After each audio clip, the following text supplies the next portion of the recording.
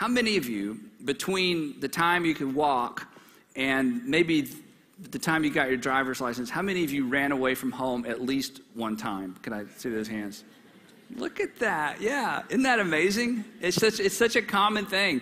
And the thing about running away from, I know you're laughing. It'd be, actually, it'd be fun. We don't have time to turn and share the stories because they're always kind of the same and they're funny because at the time, if you can kind of go back to that awful emotional place, it was probably, it had something to do with one of your parents or both of your parents, probably, right? Us parents drive our kids out sometimes. I'll tell you a story in a minute. And the interesting thing about running away from home as a kid, it's all about the away it's not much about to. You know what I mean? Like you ran away and you got to the end of the driveway and you were away, but where am I going to? Or you got to the end of your street, you were running away, but what am I running to? My, my sister in law, she ran away, but didn't have a plan for to, so she climbed a tree and spent the afternoon in a tree. And, and she saw her, saw my father in law, her dad driving up and down the street looking for her. She thought, I guess I should go home and, and face the music. She climbed down because it was all about the away part um, Garrett, my, my uh, middle child, my son, he, when he was very, very young, he and I had a, an altercation, and I'm sure it was probably my fault. And, um, and so I'm downstairs with the other two kids, and I hear this beep, and the beep is when a door or a window opens. You know that beep? And I'm looking around and going, the doors, no one's at the door. The win- a window has opened, and I'm thinking, oh no, Garrett has opened his window, and he could climb out of his window onto our back porch roof. And I thought, what's he doing? So I went out on the back porch, you know, you know, sort of trying to figure out what to do. And over to my peripheral, my peripheral vision, I see this sleeping bag come flying off the side of the back porch roof into the bushes. I'm thinking, he's running away and he's about, he's gonna try to jump off the roof to escape our house. I don't know. So I go running upstairs and then I pause, you know, don't freak out, don't freak out. That's the number one rule of parenting, don't freak out. You know, so I'm walking Garrett, you know, and I walk and his window's open, of course, you know, and I look out and he's kind of st- standing, kneeling there, negotiating, do I jump? Do I, you know, because it's all about away, you know. So I talked him in off of the, the roof and it, it, all worked out. And so, but the point is, the point is when it comes to, to run away, it's so, it's so much about the away we, we don't think a lot about to. Now, here, here's another question and don't raise your hand on this one because this is to some extent true of all of us. How many of you have ever tried to, don't, don't raise your hand and don't, no elbows. How many of you have ever tried to run away from God? This usually happens about driver's license time forward, doesn't it? Running away from God. Running away from God isn't like you pack your bags and go somewhere, although you may, that may have been part of your run away from God story. Run away from God is that I know better, and I, I, you know, I don't really know everything about the Bible, but I'm, i have a feeling that if I say, said, God, what is your will in this situation? I kind of already know what God would say, and I don't want to do that. That's sort of the runaway from God thing. It's that I'm going to kind of tone down my conscience by deciding there is no God. And if there is a God, he's like the creator, and then he went on to do something else. He's not personal, he's not paying attention. So you kind of adjusted your theology to allow you to get involved in some things or change your lifestyle. And so in that way, you're kind of running away from God. And if you're really, really honest, you know, dead of night, the music's off, and you're real gut level honest, you still believe there is a God who knows your name, and you still believe to some extent you're accountable to God, but you just you just don't want to do that right now. You ran away from God into a relationship. You ran away from God into some financial thing. You ran away from God in terms of a major. Maybe you felt when you were young, God was nudging you toward ministry or toward some sort of service occupation, and you thought, there's no way I'm going to be poor the rest of my life. I'm not doing that. And so you just, you would, and your, your terminology you would use is you kind of turned your back and ran from God. It may just be an issue. You know, there's just one particular issue. It's not like you've abandoned all your belief in God, but in this particular issue, God, you keep your hands off that. I'm running, I'm doing my own thing. And it's not that you don't pray, because when you get in trouble, you still pray, but you don't pray prayers of surrender. You don't pray white flag prayers. You, you pray prayers like, God, okay, I'm back, but I just, I'd like your attention, but only in this one area. Don't not over here. Focus, focus, God. I want to talk about this and I want you to fix this and then I want you to go away. You know, you've kind of put God on the back burner, the rear view mirror. He's off in the peripheral vision somewhere. You're not really going to pay attention, right? And, we all run from God for basically the same reasons. Um, for, for some of us, we just don't want to be told what to do and we're afraid if we surrender to God, we're going to miss out on good things. Some of us confuse life with God.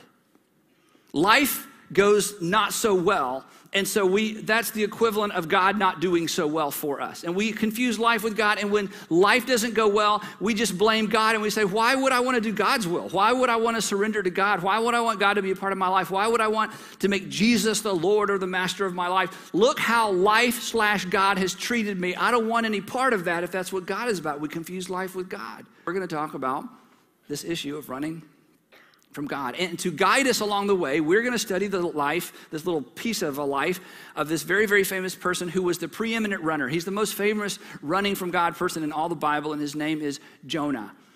Now, when I say the name Jonah, you automatically think whale or fish or veggie tales or flannel graph or Sunday school. And the thing is about Jonah, when I say Jonah and you think fish, the only part of his life you know is this, this kind of fairy tale, veggie tale, cartoonish kind of idea that maybe you believed as a child, but maybe part of you goes, surely you're not going to ask me to believe that a man was eaten by a fish.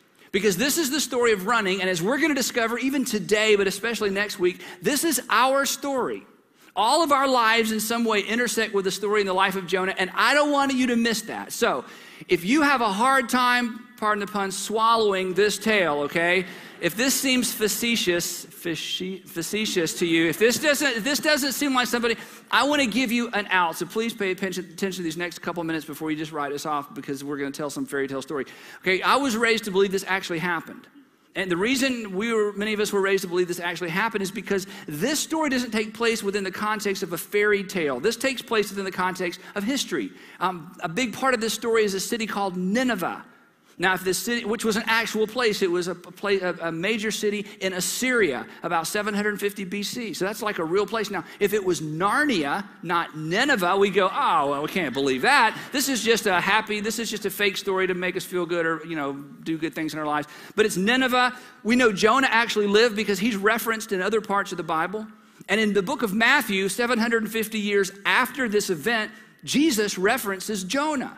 In fact, he makes a big theological point about his own life as it relates to Jonah. It seems like Jesus believed Jonah actually lived and that this event that's like, oh, you got to be kidding, because I would hate for you to miss the message of Jonah because of a part of the story that you just can't swallow. And that's the last time I'm going to say that for the whole series. Okay, now, Here's the other, here's, here's the story of Jonah. Jonah is a prophet. And, and, a prophet, the prophets had a tough job. Prophets were like the army rangers uh, of God's work in the world. Prophets were sent into very, very difficult environments to deliver the very message that no one wanted to hear. Growing up, we call those people parents. But then once we grew up um, and, and no one, you know, our parents didn't have access to us, every once in a while, God sends a prophet into your life, doesn't he? He just, there's somebody shows up and says, hey, it's none of my business. And they tell you something and you go, you were right. That was none of your business. But they told you something you needed to hear. That's what prophets did. Now, Jonah had a very, very difficult job, even as a prophet, because God didn't send him to the nation of Israel. Now, the Bible is full of, uh, of, books written by prophets that went to the nation of Israel, and, and that was hard, but not so hard because the people in the nation of Israel believed in the same God, had the same theological framework, the same worldview. So when a prophet would show up to King David or Solomon or you know some of the Old Testament kings, they at least had a context. Oh, you're a prophet of God. But God sends Jonah to Assyria, to specifically to the city of Nineveh where they have a completely different worldview. They're not going to see Jonah and go, oh, a prophet of God, we should give this guy an opportunity. I mean, and so he says, Jonah, I, I want you to go to Nineveh because their sin has come up and I am tired and I'm going, I'm going to judge this nation and specifically, I'm going to judge this city. Well, Jonah's thinking, well, I say let's skip the warning and just go on with the judgment because we don't like those people. They're a constant threat to our nation, um, different worldview, different gods. And the other thing that Jonah knew about the Ninevites that maybe you don't know is that the gold medal that they won every four years in the Olympics back then was they, better than anyone else in the world, knew how to skin a person alive and keep them alive longer than anybody else in the world. That's where they got the gold medal every single time because they had perfected the art of skinning alive their enemies and keeping them alive for a long period of time. And so God says to Jonah, Yeah, yeah, that's the ones. I'd like you to visit them. And I would like to tell you to tell them that Yahweh, the God they don't even know exists, is angry. And if they don't repent of their violence and their sin, that I'm going to judge them. And Jonah, like you, and Jonah, like me, said to God, I would like not to do that. And so I'm not going to do that. I still believe in you. I, you know, I still, I'm not jettisoning my faith in God. I'm not becoming an agnostic or an atheist, but that, no, I'm not going to do that. The word of the Lord came to Jonah, son of Amittai Go to the great city of Nineveh, the great city Nineveh, and preach against it, because its wickedness has come up before me. In other words, God says, had enough of it. I'm, I'm, I'm just sick of what they're doing. But Jonah, verse 3, ran away from the Lord and headed for Tarshish. He went down to Joppa, where he found a ship bound for that port. And after paying the fare, he went aboard and sailed for Tarshish to flee from the Lord. Now, here's an interesting thing. When he decided to run from God, he really ran. Take a look at this. Here's Turkey and Iraq. Israel is right here, little tiny strip of land of Israel. So he goes from his hometown down to the coast to the little city of Joppa. Here is Nineveh. It's about 550 miles by land over here. Over here. He gets on a boat and goes all the way to Spain. I mean, when he ran from God, it wasn't like, no, uh, what else do you have? It's like, no, watch this. And he got on a boat and headed. This is literally, this is as far as you could go in that period of time in terms of the commercial trading routes. From his perspective, literally, that was the end of the world. That's as far away as he could possibly go. He bought a ticket from Joppa to go all the way to Tarshish to say, you know what? I'm, I'm just not, I'm just not doing that. Now, this, that's part of your story too, isn't it? Because God said, I'd like you to go in this direction. You didn't just say no. You said, no, actually, I'm going to go in this direction. And, and, I don't want you to be involved in that. Well, you know, that's exactly what I'm going to be involved in. And I want you to stay away from her. Actually, she's exactly the person. I'm, and it's, it's just amazing. Each of us have a story, either in our whole lives or a segment of our lives, where we decided that we're just going to do what we want to do. Now, having spoken and spent time with many runners, having been a runner myself, because we've all been there and done that, there are several things that are common among people who decide to run from God. And in this map, we discover the very first one. And that's simply this that when people decide to run from God, they run from God in the strangest kind of way. And they run to, from God to the strangest places. Jonah decides to run from God, so he gets on a boat. That would be like you saying, I'm running from God, I'm going hang gliding. I'm running from God, we're going caving. We're running from God, we're gonna do some rappelling. I'm running from God, I'm gonna go camping in the mountains of Afghanistan. I'm running from God, and you go to like the most dangerous thing you could ever imagine. So Jonah decides, I'm running from God, like who created the earth and the sky and the sea. I'm gonna get in a boat, not just any boat, a boat that's gonna be on the sea for the longest period of time you can possibly be on the sea. You know what I've seen and what you've seen and what's part of your story is that when we run from God, we run to the strangest places. In my time as a pastor, I've met so many people who, in rebellion against God, decided they would get married. Now that's safe, right? Or the opposite people who decide they're just sick and tired of the whole Christianity thing, sick and tired of the God thing, so they decide they're going to get divorced and get in a different relationship. In about, I say six months, actually, they mostly overlap when you finally dig down. Well, yeah, we were kind of, I was kind of overlap. We had an overlap. I was still married, we had an overlap. Well, that's safe. Those things always work out well. That's a, that's a safe place to run, right? Or people run into all kinds of debt, or they run into a business partnership, or they make, they, they just run to the strangest places. And as outsiders watching them make these decisions, you think, wow, if I was gonna like overtly shut down my Christianity, shut down my religion, shut down, you know, my whole God orientation, I, I don't think I would go there. And that's exactly where people go. People run from God to the strangest places, and here's why. Because when you run from God, if you're a runner now or if you run in the past, you certainly can identify with this. When we run from God, we run from the source of wisdom and truth. And when you disconnect yourself from wisdom and truth, you make unwise decisions based on things that aren't really true and won't necessarily fulfill. When you run from God, you run from the source of wisdom and truth in terms of your relationships. Because all those prophets in your life, the people that say, hey, can we have lunch? Can we have breakfast? There's something I'd like to talk to you about, and there's three of them. You know, all those people, it's like, no, thank you. I'm busy, I'm busy, I'm busy, I'm busy. You don't even call your parents back. You know, your mother in law calls. She used to love your mother in law. No more. Because you know what they're going to say. Because when you run from God, when I run from God, we run from the wisdom, the source of wisdom and truth. We run from the people that, res, that you know, reflect wisdom and truth. We run from the places where we might be confronted with some wisdom and truth. You're a teenager and you unplug from, you know, from inside out. You're a college student and you unplug from the living room. You're an adult and you unplug from small groups, suddenly you're too busy, and then you unplug from church. Why? Because you've decided to sort of stiff arm God, and we just unplug from the sources of wisdom and truth, and then we make unwise decisions based on things that really aren't true and aren't going to come through for us. And that's exactly what Jonah did. He ran to the place that made absolutely no sense at all. Now, if while I'm saying that, you're having this thought like, how did he know? It's because, it's not because I knew. It's because this is what all runners do. And let me tell you about runners. See, when we're running from God, we think we're rugged individualists. We're doing something no one's ever done before, and we're cooler and slicker and more connected, and it's just going to work out for us because it's individual, it's, it's unique. It's not unique. It, you're, you're not the first person. This is a pattern. this is maybe why we have the book of Jonah. Then the Lord sent a great wind on the sea, and such a violent storm arose that the ship threatened to break up. Verse 5 All the sailors, now these are sailors who've done this route many, many, many times. These are, not, these are not men who are easy to scare. All the sailors were afraid, and each cried out to his own God. They began to pray. And they threw the cargo into the sea, which meant this, this trip was going to cost them. They weren't going to make anything. And they, but Jonah, they threw the cargo into the sea to lighten the ship. But Jonah had gone below deck where he lay down and he fell into a deep sleep. Verse 6 The captain went to him and said, How can you sleep? In other words, isn't it obvious that of all the things you should be doing, sleep is not the thing?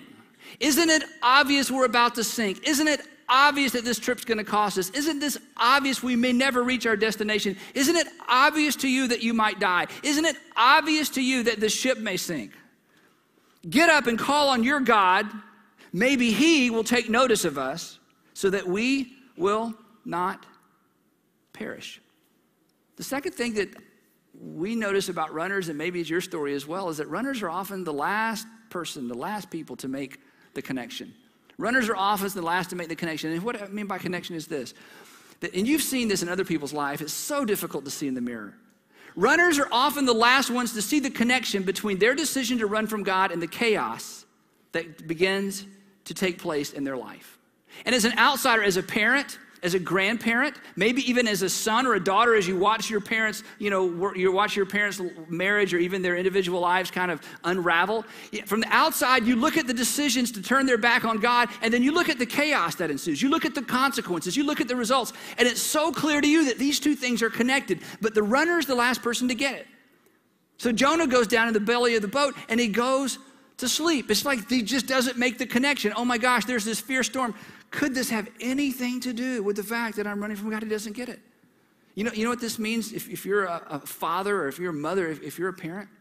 That the chaos that you create in your home that impacts your children, the chaos that you create in your home that impacts your children's future and their relationships with the people they may fall in love with someday and try to create a new family, that the chaos that you create because you've turned your back on God, because you're resisting God's will in an area or in your entire life, that your kids will probably see it before you do. The people who love you the most will see it before you do, and they'll try to be the prophet and say, Hey, there's these two dots. I'd like to help you connect them. And you'll say, Oh, no, no, I, I, I don't think those two things have anything to do with each other. I've sat in and talked to people, and you don't have to be some wise counselor to see it. And I'll say, Okay, you did this, and now there's this. Do you not see it? No, I don't see a connection. I'm like, How? Because when you're running, when you're running, you're late when it comes to seeing the connection between your decision to stiff arm God and the chaos that eventually, eventually, and always ensues in your life.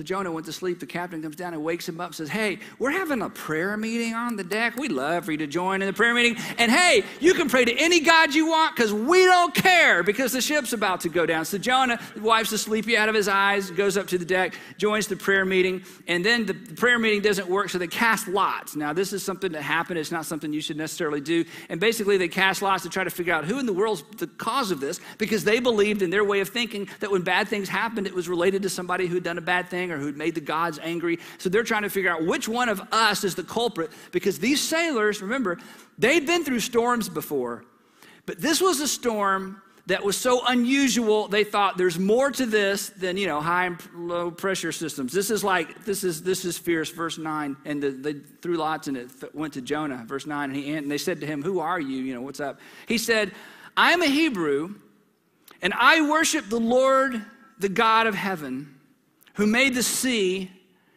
and the dry land. And then he thought that I should have stayed on. Why did I get on a boat?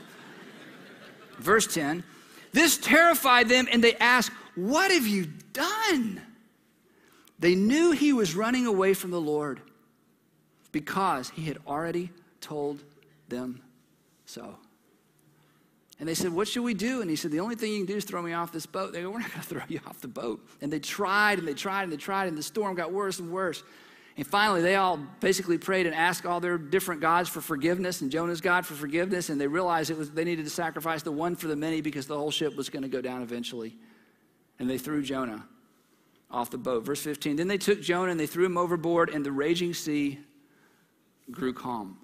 now, when I was a kid and we heard this story, you imagine them throwing Jonah off the boat and him sinking, and then slowly the, the sea is calm. But it doesn't say that, and we don't really know what happened. And if it, this is a myth, we, we none of this happened anyway. We can just make it up. But anyway, we don't know what happened. But you kind of imagine that they throw Jonah off, and he doesn't sink. I mean, he's going to swim for his life, and the sea slowly calms, and there's now they're standing in the boat, and he's like 40 yards off the bow. It's waving, they're waving. It's like, should we pick him back up now? I don't know. Sorry, no problem. You know, we don't, we don't know what happened. Okay, now, now, just discount all that. Then, then we run into once again this amazing, amazing phrase, verse 17. Now the Lord. First it was then the Lord. Now it's now the Lord. Let's just read that together. Now the Lord. Now there's another now the Lord moment in Jonah's life. Did you know if you're a runner, you may be the last to see it, you may be the last to recognize it. But because of what happens next, there will be some now the Lord, then the Lord moments in your life. Because when you run, when you run, God doesn't abandon you. Now, the Lord, verse 17, now the Lord provided a huge fish to swallow Jonah. And Jonah was in the belly of the fish three days and three nights. And then I love this next verse. From inside the fish, chapter 2, verse 1, from inside the fish, Jonah prayed to the Lord his God. And I wrote in my notes, I bet he did.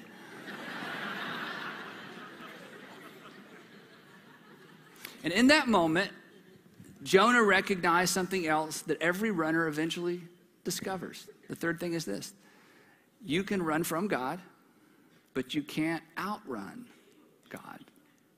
You can run from God in an area of your life, in your whole life, in your relationships. Hey, I'll come back around, swing back around later, and kind of pick God up on the backside after I kind of get things away. You can run f- from God, but you can't outrun God. And you know what? I, I don't know for sure if this is true, but I don't think God chases us. He's God. He have to chase us. I think He waits for us. And so God prepared a fish for Jonah. And God will prepare something for you. And here's why.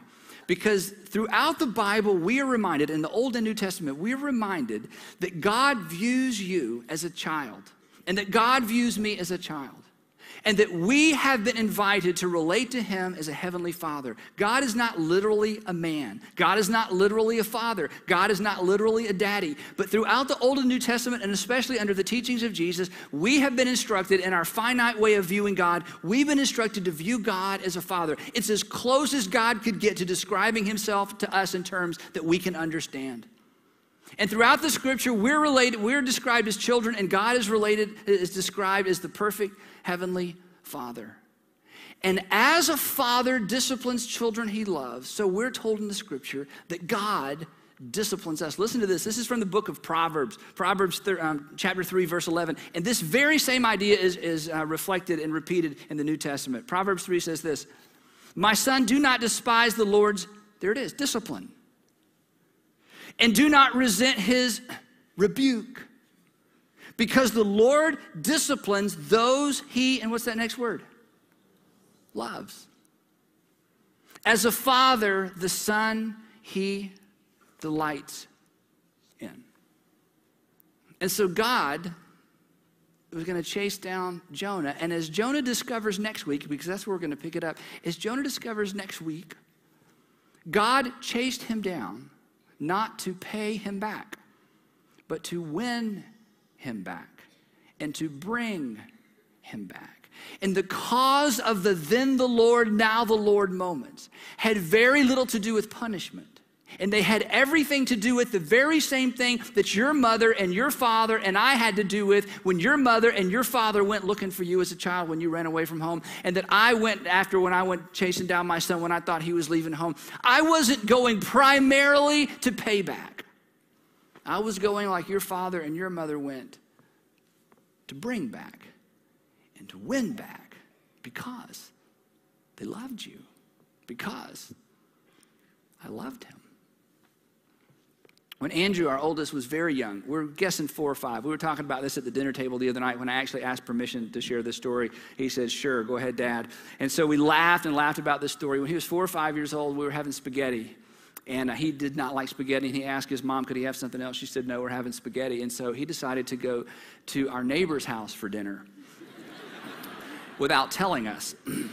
Now, if you're a parent, at some point, unfortunately, we all unfortunately have a bit of this experience the panic that happens when you can't find your child, especially when they're young. We can't find Andrew. We looked all over the house, the basement, you know, nobody knew where he was. And there's this, and so we didn't allow our kids to play in the front yard. It was very close to the street at the house we used to live in. Looked in the backyard, the woods. We had woods behind us and beside us, front yard, the street across the street. And, and there's this thing that happens where the panic, you're thinking, don't panic, don't panic. But here it comes, here it comes, here it comes. If you're a parent, it's like, oh, there's nothing like it. Had it happened twice in my life. This was the first one. And we're starting, he is nowhere to be found. Sandra's outside walking through the side woods. I get on the phone and start calling people, and I called our, our neighbor who, who are dear friends of ours now, and I called, and Doris answered the phone. I said, Doris, have you seen Andrew? We can't find him. She goes, Oh, he's over here playing. Said something about dinner, you know. And then I hear her say, Andrew, your daddy's looking for you. And I hear this little sweet voice, voice in the background that says, But I'm not looking for him.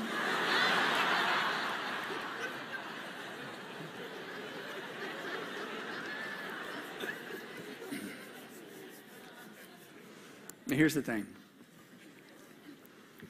if you are overtly, maybe it's subtle, maybe it's completely covert because you've hidden it with theology and excuses. If you're running from God, your daddy's looking for you. He is. And you're not looking for him, but he's looking for you. And here's the good news He will not cease, He will not stop resistance is futile. Not because he wants to pay you back, but because he wants to win you back and bring you back. And the reason I can say that with absolute confidence, even though I don't know your story, and I don't know the level of your resistance, and I don't know the level of your, your rebellion, the reason I can say that with confidence is because 750 years after this event and 2,000 years ago, he sent his son into this world to pay completely for your sin so that you don't have to be punished for it. Punishment has been dealt with, payback has been dealt with. From this point forward, it's win back, it's bring back. Because as a father disciplines his child, so your heavenly father will discipline you to bring you and win you back. Now, next week, we're going to look at the next part of the story where Jonah prays this amazing prayer. It's a white flag prayer. It's a prayer of repentance. It's a prayer of surrender. It's a prayer of, okay, you call the shots. I'm not running anymore. And next week at the end of the service, I'm going to give you an opportunity to pray a similar prayer and surrender your lives back to God. So if you're a runner, I'm giving you one more week to run. But next week, this whole thing is going to culminate in this amazing, amazing piece of literature that we have from the book of Jonah, where he, he, he, he, talk, he comes in at, at it from all different angles to say, okay, I'm waving the white flag. I'm not going to run anymore. But between now and next week, if you just can't wait, between now and next week, if you keep thinking, how did that guy know? How did they know? It's like it's, he's exactly right. I have run to all the wrong places. My plans have not worked out. What was a thrill has become an addiction. What was incredible has become a nightmare. What was just so much fun has become nothing but debt. How did they know? I, I, he's, he's right. I ran to all the wrong places. And you know what? It's taken me months and months and months to connect the dots. My mama tried to connect them. My wife tried to connect them. Even my kids have come to me and said, Daddy, your mama, can't you see? Everybody's tried to connect the dots. Why is it I haven't been able to connect the dots? The, the reason is this because your heavenly Father is chasing you. That's why you heard this. That's why somebody gave you this message. That's why you tuned in to listen. That's why you're sitting here today. You don't even know, normally go to church.